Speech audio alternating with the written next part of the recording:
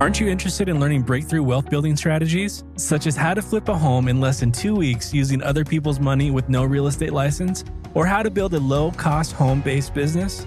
You can discover how to take passive income from any source and invest it into real estate, stocks, or business to become financially independent investing in any market with Residual Roads Business Institute. Collaborate with Andre and other Residual Roads advisors to create a free action plan and start implementing strategies today. Go to www.residualroads.com or email info at residualroads.com. Welcome to the Investing Uncensored podcast. You've been searching for different ways to become financially independent or generate passive income to live out your life's purpose as you've seen others do it, but need insight on how. Well, get excited because here you'll discover the tips and resources to fulfill that need. Andre Stewart has spent more than a decade successfully making it happen for himself and others. This is the Investing Uncensored podcast. And now here's your host, Andre Stewart. Welcome to another episode of Investing Uncensored. I'm your host, Andre Stewart. And today I want to talk to you guys about discipline and tools to reach the goals that you might have personally and financially uh, for your career and as far as you want to build wealth over time. Before I get into it, I'm going to tell you guys a quick story about me. And it just goes, it ties into kind of what I'm going to discuss. In the last seven months, I think on one podcast I did talk about my aunt and my grandmother. Both of my aunts passed away in the last seven months, non COVID related. And then my final grandmother, so the final two aunts, and then my final grandmother passed away. Two of them were within the same month, within seven days.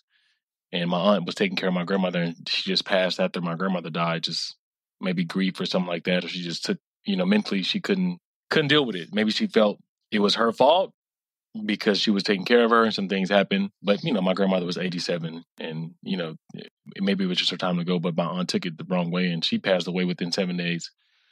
And then, you know what? My dad actually passed maybe a month and a half after that. So within seven months, I lost my father, my grandmother, and the last of my two aunts. I still, I was, I wasn't recording any podcasts, but it goes back to, you know, having discipline. And that just leads me into what I was about to say like I was still doing this happened, you know, up in December in January of this year. And so you guys know that I said I wouldn't have a huge break in doing podcast anymore because I was developing the mobile app and then it finished and then I was going to get going. So in that time frame, what I did, I recorded a lot and then I just saved them on, on my computer.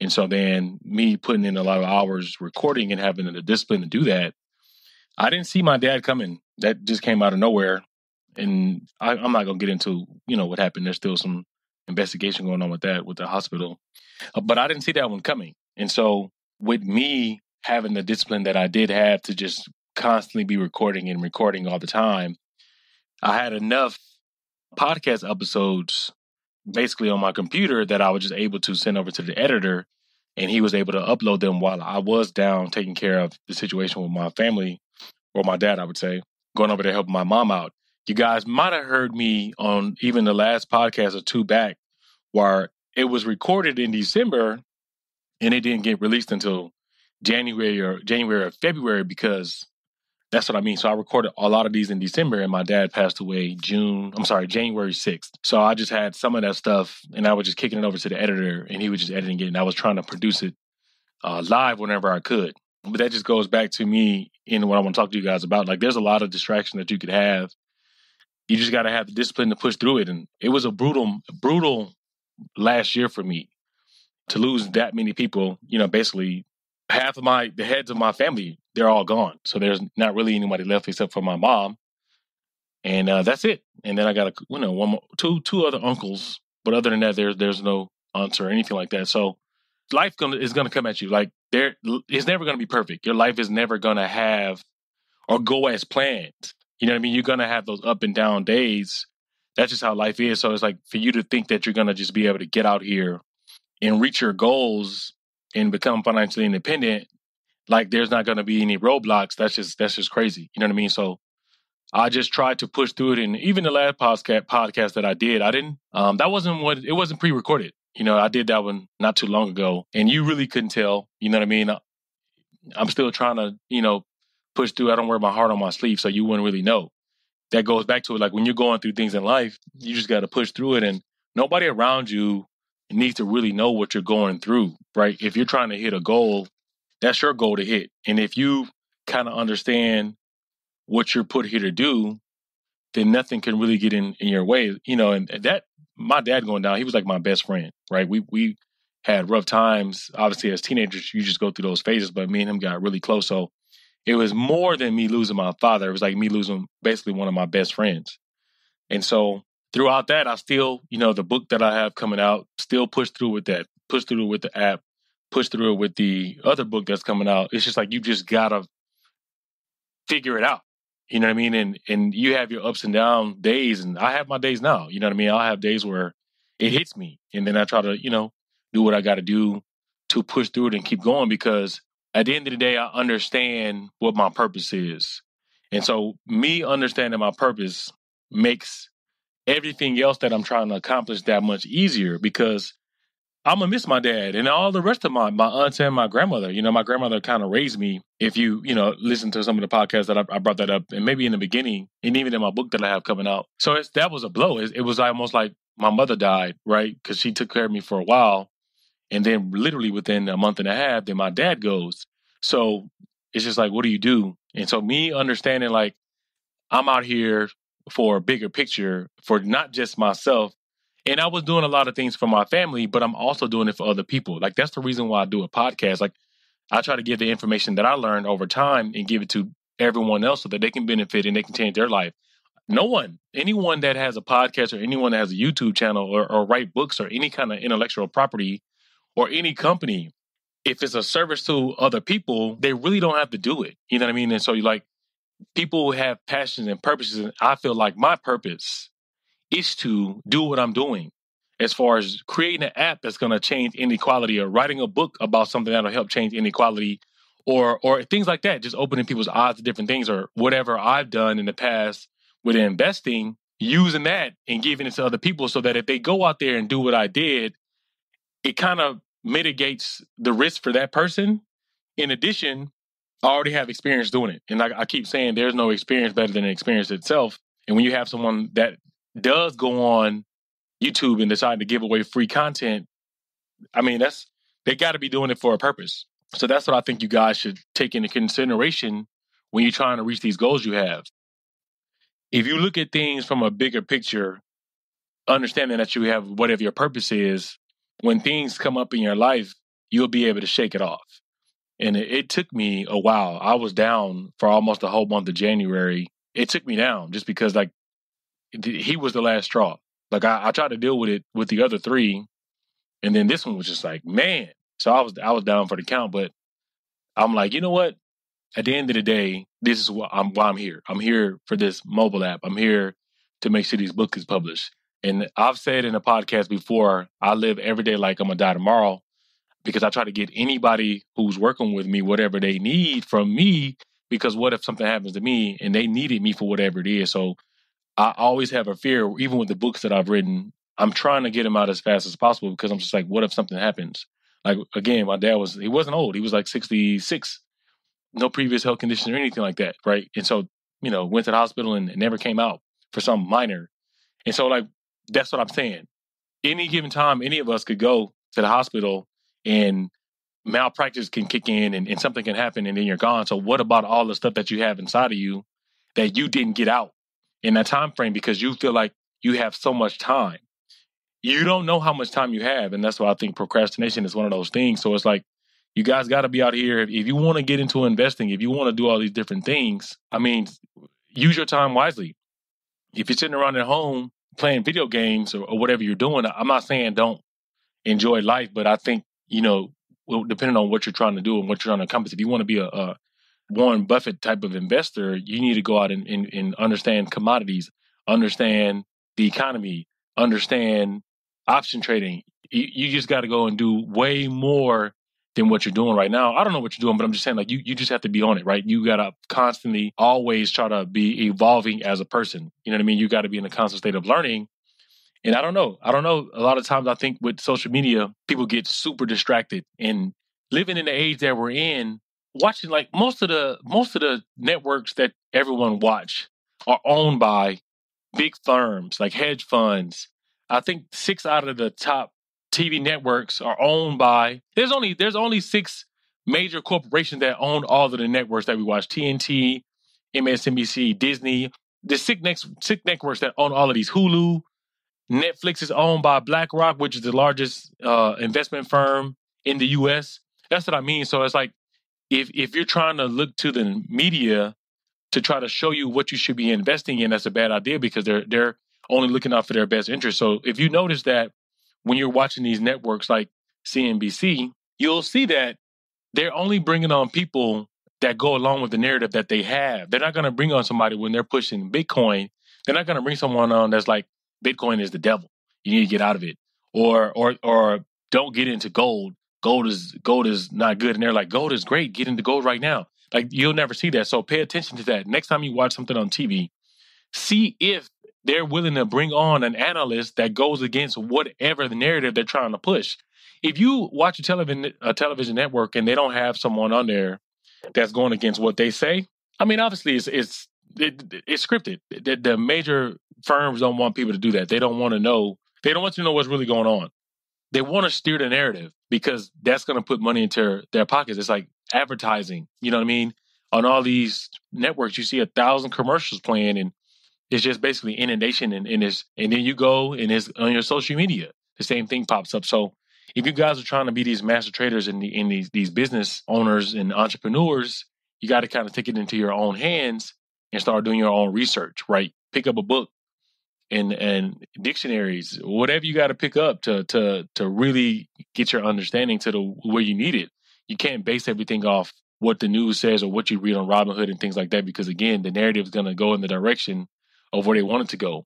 For example, just take the current situation with the war in the Ukraine. Before the war in Ukraine, a month ago, what was the hype about? What was everyone talking about? Inflation. That's all they talked about was inflation. You couldn't see another article that didn't talk about inflation. It was that's all they talked about. And then previous to that, then obviously you know what they were talking about because we've been in it for almost two years. Every channel on your phone, everywhere talked about the same thing. Now, if you open your phone right now, what is it going to say? It doesn't matter what station you go to, it's going to be talking about the Ukraine. And you will see that I saw something that come out on on TV. It was on YouTube. It wasn't even on TV. It was someone saying that they're going to try to blame inflation on the war in Ukraine, which you can't do that, right? It was already the look, I keep saying the, the economy has a lag. It was already super high. And now they're going to come out and tell you the reason why it's high is because we're going through this war in the Ukraine and it's pushing the prices up and it's stopping the supply chain. Yeah, right. Like that, the effects of what's going on over there probably won't be felt until two or three months from now. If the inflation reading comes out on March 10th and it's like nine or 10, that has nothing to do with what's going on in the war if we just slap sanctions on Russia and all of that stuff. That's not, we're not even going to feel that because we're still flowing. The, I mean, they had some blockage within the last week or two weeks ago, but the CPI numbers or the inflation numbers that come out, they come out from the month before. So for them to come out and say this is the reason why inflation's high, again, so they're trying to build a narrative to steer you guys in a different direction so it you know it takes you away from what you need to be thinking about, which is inflation. And, and so now you don't see anything else about it. And so now when they come out and do what they're going to do, they have something to blame it on versus blaming it and taking ownership of what they did to cause this.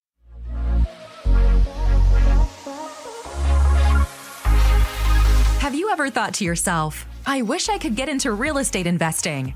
You can change this as quickly or as slowly as you want to now. Imagine yourself networking and making new connections in real estate globally, or buying an investment property in a market or country that fits your needs. People do. They know what I'm talking about, and now you can too with InvestFar. Connect and join the network. Remote investing made safe and easy.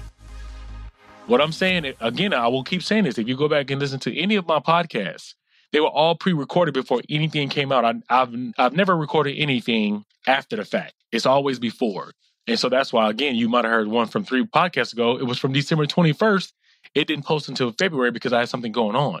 So what I'm saying now, they're the the Fed's going to come out March 10th, and they're going to talk about rates. I'm sorry, March 15th, because the CPI numbers come out March 10th. And they're going to talk about raising rates and where we're at with inflation. And they're going to be like, well, the war in Ukraine, it has nothing to do with that. So this is what I mean. If you understand how all of these things flow in the economy, then you'll know what they're saying on TV is some BS. And then you know that you can't trust what they're saying if you're trying to build out your investment portfolio, start a business or do anything like that, because it's not true. It wouldn't even make sense. And they're trying to make it seem like we're stupid and like we don't understand that. So that's why they come out and they uh, they know that majority of people don't understand economics. So they can come out and tell a narrative like, well, because of this, this is the this is the case. When it's not the case, because I keep saying the economy has lag, none of this data is going to catch up that fast to what's going on. And so that's what I mean. So if you guys really want to master investing and and quit your job, that's what you kind of got to do. You got to really dig in and understand how the global economy works, not just the US or whatever country you're in, because we are interconnected. So anything that goes on in Ukraine, we all get our products from somewhere else, not the US, not Australia, not Europe. We all get it from somewhere. And so that's why we're all connected. We we all supply something to each other. And so the reason why I'm telling you guys to understand all of these things for yourself is so when market manipulation does happen, with posting articles like they're doing now to drive people out of the market, you won't be scared. You will have diamond hands. You won't have weak hands and get out because if you look at what happened in oil, it, it dropped. You know, it dropped on the news and it got down to 91. And now, if you sold last week, it's back up at $96, almost $102 a barrel. If you hopped out last week when it was under on Friday and the other markets in Europe and Asia are open and it drove the price back up, when you try to go back in on Monday, you're gonna be out. You're gonna be priced out, not priced out, but you, you, you if you would have stayed in based on what you knew, then you wouldn't be buying back in at a higher level. And so that's what I mean. Understanding what's going on, you wouldn't have sold. You would have just held on to it and be like, you know what? It might take a dip because of this foolishness that they posted on on the internet or on TV or whatnot. I'm gonna just stay in this. And so I didn't sell. I bought a bunch of option contracts on Friday when the prices were down and even the ones that I bought were kind of overpriced, but no one bought them, but I bought them. And as soon as I bought them, I lost, you know, some money on them. But within, by the end of the day, I bought them in the morning. By the end of the day, the ones that I bought were in the money because I knew. I'm like, you know what? I don't even care. I'm not going to pay because they were trying to, you know, there's bid and ask price when you're buying options. The uh, ask price was super high, and the bid on it was, you know, $10, $15 between what they wanted. I paid the ask because I'm like, you know what? I don't care if I go negative for 20 minutes or an hour or three hours or even a day. It's going to come back to where it is. And so that's what I did to make sure that I got in the position. And look what happened. Oil was at $91 a barrel on Friday. Now it's Sunday over here, but in Europe and in Asia, it's it's Monday. And so now oil's at 102 and I'm already in it. And you know, so that's what I mean. So I'm already to the good. And Monday I don't have to worry about waking up super duper early to put on contracts to, to try to catch the the gain that's already been had. I'm already in it. So when it when it opens up tomorrow, then I've I've made money. As soon as it opens up, I'm gonna be up like, you know, five or ten percent. So this is what I mean. And the same thing with the housing market. If you understand what they're doing with rates and lumber prices and other commodities, then you'll know that you need to wait to buy property. There will be a pullback in certain markets. I don't think they're going to be a 50 or 60% collapse or any of these major collapses, but I do think they're going to be a correction because if you think about what's going on with the economy, people aren't spending as much. So if people aren't spending as much and the mortgage applications are down, that means the people that are trying to sell houses are either going to have to bring the price down because people can't afford it or be on the lookout for a bunch of houses coming to the market from foreclosure. And it goes back to that podcast that I did two days ago showing people how to navigate the market that's coming because there are going to be a lot of foreclosures. So, I mean, those are your strategies when it comes to real estate. You either wait till the prices dip or you go after the people that can't afford it and then their mortgage is coming due and then you step in and you take over the mortgage and get the house for pennies on a dollar. That's what I mean. That's what I'm saying. Like you got to go back. You got to go back and do your research and you got to go study because then you just know how to navigate in any market whatsoever. So you'll know, like, I need to be buying in emerging markets because it doesn't look too good for the US. Or we're going to have to start getting more goods and services from Latin America. Or we're going to start producing more oil in the US because we can't get any more oil from from Russia. So what's going to happen? Biden's going to have to step off these leases that we have and we're going to go back to try to become energy independent like we had 2 3 years ago under the other administration. Like these are the things that are going to have to happen. And with you doing your research and knowing all of this stuff, it just makes you a phenomenal investor because you are allowed to play in any facet of the market that you want because you understand it all. And the root of investing is through understanding economics and understanding history. I keep saying that because if you know both of those, you just know how to move through the economy. Like if you if you look back at what happened in, when the inflation was this high last time, then you'll be like, all right, this is what's going to happen this time because it can't happen any other way. Just based on the amount of debt we have, you'll know that this is going to be worse than the last time this happened because we obviously have more debt. And when you have more debt, interest rate go up and it's harder to pay off that debt. So you see what I'm saying?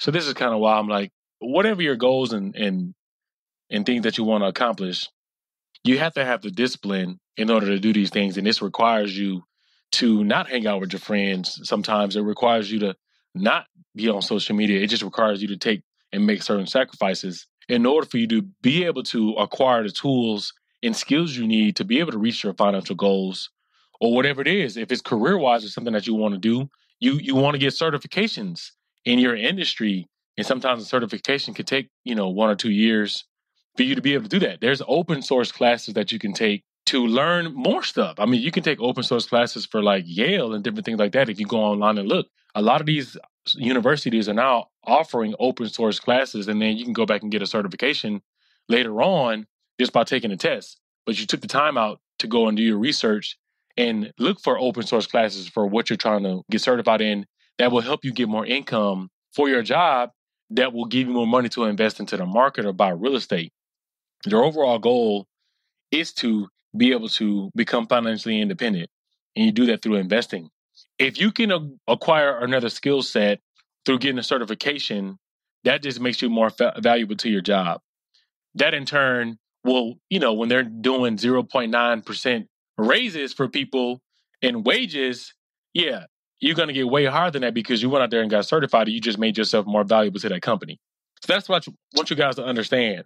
These are the things that you guys should be trying to do versus trying to rely on the social media or these people on TikTok or wherever you get your information from if you're not getting it on your own. You know what I'm saying? Listening to me on a podcast, that's great too, right? I'm trying to give you put put things in your in your head for you to go and do more research on. Like you can take my advice and go back and look at some of the stuff that I'm saying through charting on on the stocks and looking at real estate history or real estate data but if you don't understand all of the stuff or how I got to my equation, then you basically just taking whatever I'm saying and going out there making decisions based on what I'm saying. I don't think that's a good idea. I, I can be sitting up here saying whatever to you guys so I can get more downloads. I'm just saying, which I'm not doing that because I don't I don't really care. But I'm just giving you an, an example on like do further research for yourself, regardless of what podcast or what YouTube channel you're watching or what you see on the news.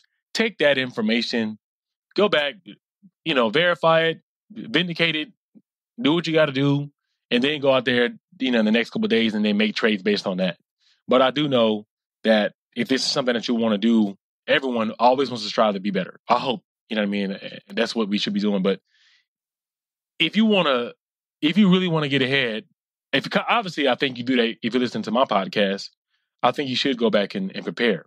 I think you should go back and do these different things to make sure you're a, a, great investor. But anyway, guys, I just want to hop on here and do a quick podcast and just let you guys know, man. Like, I didn't, I didn't grow up, I didn't grow up in an environment where I just had money at my fingertips. My my dad was in the military. My mom was too. My mom made twenty five thousand dollars a year to support two kids, and that's not a lot of money. You know what I mean? You you guys know that. And so, like, I didn't come from that background. You know what I mean? If anybody knows my story from when I told it previously on a podcast, you know how I grew up. And if I can do this, anybody can do it. And I just put the work in to get where I'm going. Anybody, like, look at LeBron James, premier athlete. He didn't grow up. He, it's not like, you know, Stephen Curry is another great athlete. They grew up in two different environments. Stephen Curry grew up basically in an NBA household. His dad was in the league for however long. So he grew up completely different than LeBron. But look at LeBron. Grew up with a crackhead mom, I think, no father in the hood in, in Akron, Ohio. And look where he is. So that's what I'm saying. Everybody's life path is different, but it doesn't matter, you know, where your walk of life is. You can still you can still do it. So guys, go out there and regardless of your environment, man, put the work in. If you want to get to a place where you can be out there doing your own podcast or doing stuff in the community, writing books, creating apps, all you got to do is do the research and put the work in. But anyway, guys, I just want to hop on here for a quick minute and uh, share my thoughts on what I think people could do to be successful. And I'll see you guys on the next episode. Take care. Aren't you ready to start a business or grow your real estate investing portfolio? If you answered yes, allow Andre and the expert advisors at the Residual Roads Business Institute to fast track and put you on a path to full time investing. The greatest transfer of wealth in our lifetime is occurring over the next few years, and you can take advantage if you know what to look for. In order to be successful at real estate investing, you need to learn how to leverage your current resources to generate quick money, big money, and retirement money.